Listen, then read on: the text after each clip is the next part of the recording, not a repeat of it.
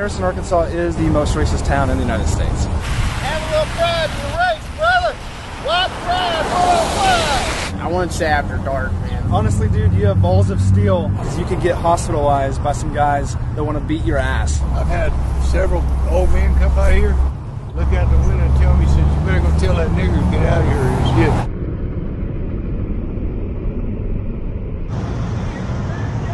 About 10 minutes, I'm gonna be back. You better be fucking gone. Okay, come back. One of them white lies. We matter too. You're a white man. Crazy. You're a dumbass motherfucker. You dumb shit. Are you a Marxist? Communist. Domestic terrorist.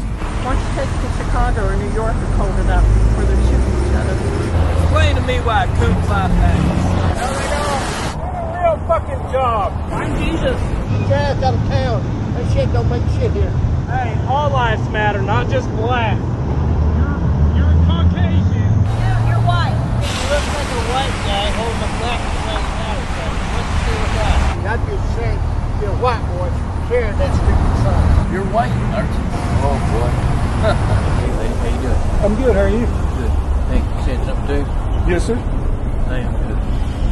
Because I'm, I'm tired of seeing this right here is the biggest hoax there ever was. It's just the next thing to ask. It, it is. Yeah, black lives do matter, but what about ours, man? Uh, apparently, black people's lives matter more than us. Apparently. So the Irish had Good, the niggers gonna kill you too. Black guys don't matter with the food. Hey, Mike. How's your day going? Walmart, they put out this statement. I would ask you to leave. Exactly what I'm saying is, is exactly what they would ask me to do.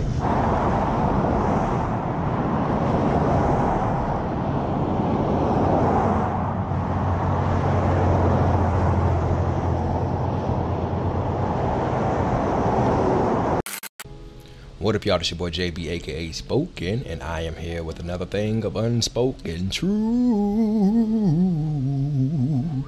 Now, let's go ahead and jump into it, shall we? So, as you can see, you peeped the video. Um, yeah, it was a lot going on, wasn't it? So, uh, let me go ahead and break this down real quick, man. Of course, we see racism everywhere. Of course, blah, blah, blah. It ain't nothing new. We know. I'm probably not going to say nothing too much newer than what you probably already heard before.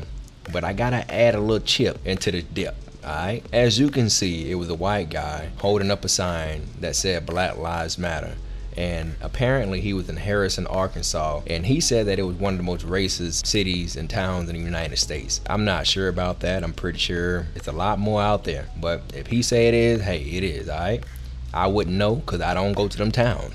I'm assuming that it's a sundown town. A sundown town is pretty much a sign that used to be placed in towns and cities, and any black person that chose to stay past sundown, it was your behind. You out of there. Expect anything bad to happen to you. That's what sundown towns are. It will actually be signs out letting people know, like, hey, I'm giving you a warning. You better leave here when the sun go down, bro. That's what they used to do. And sundown towns still exist to this day. Now, I'm not sure if you see signs out there like that. It's not that many of them out there, but I'm pretty sure in very few towns, in, in very few cities, they're there. But what I want to point out is being on code. As we sit back and watch every human race on the planet, we see how they operate by codes. Asians are on code with their structure and culture. Caucasians are on code with their structure and culture. Black people on code with their structure and culture. Hispanics on code with their structure and culture. But I happen to be black, and we all know what black issues are. We have a hard time staying on code for the right reason when it matters the most. You see, when you sit back and you look at this video and you see all these people, all these white people react to the sign Black Lives Matter, you sit there and think, dang, people like this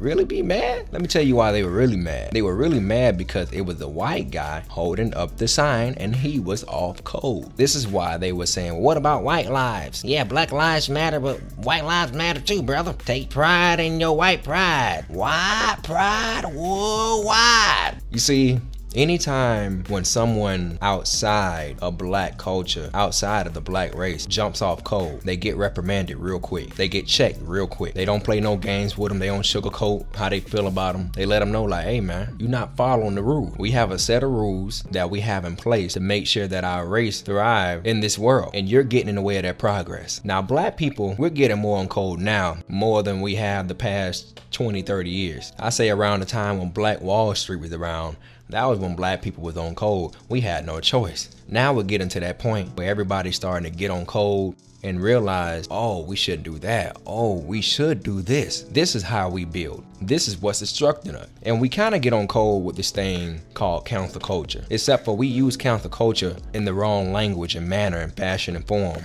due to our emotion. Because the people who we be trying to cancel, it really be over stupid stuff. Now don't get it twisted. Some people really do need to be canceled. So cancel culture is a piece of black people being on cold, except for it's very immature, highly immature. And y'all know this. You see, anytime when a black person jumps off code, a lot of us coon up with them. We'll coon it on up right with them. And a lot of us will act like, hell, we don't even see it. I want you to pay attention to how serious they take the code. They take it so far to the point that they willing to threaten their own. I mean, as you can see, the boy said, I wouldn't stay here after dark. That was to someone in his own race. Now, I'm not saying go out and harm people in your race or in your community because they jumping off code and stuff like that.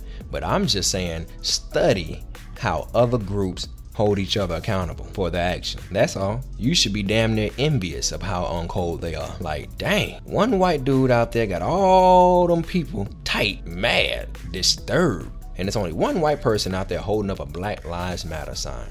Wow. So instead of checking others, make sure you check yourself as well. Look yourself in the mirror and ask yourself, what am I doing wrong? How am I contributing to my race? How am I contributing to my culture? And you gotta have an honest conversation with yourself and you can't sugarcoat it. With that being said, there's not much to talk about.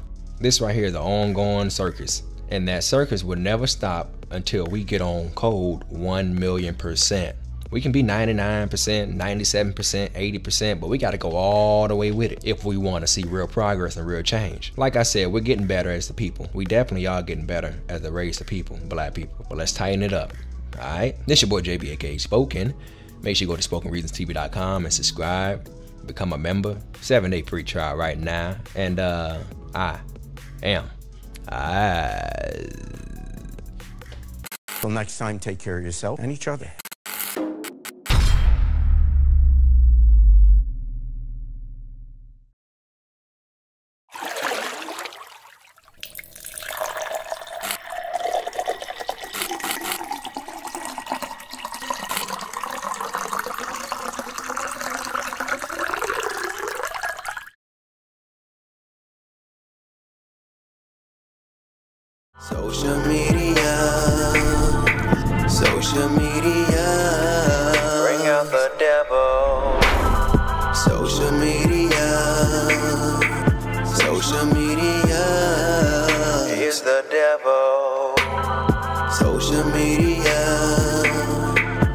Social media. Bring out the devil, the devil. It's a struggle, yeah. Stay on my grind and worry about mine. I'm logging off this time. You bugging on my timeline. Let me detox and take a real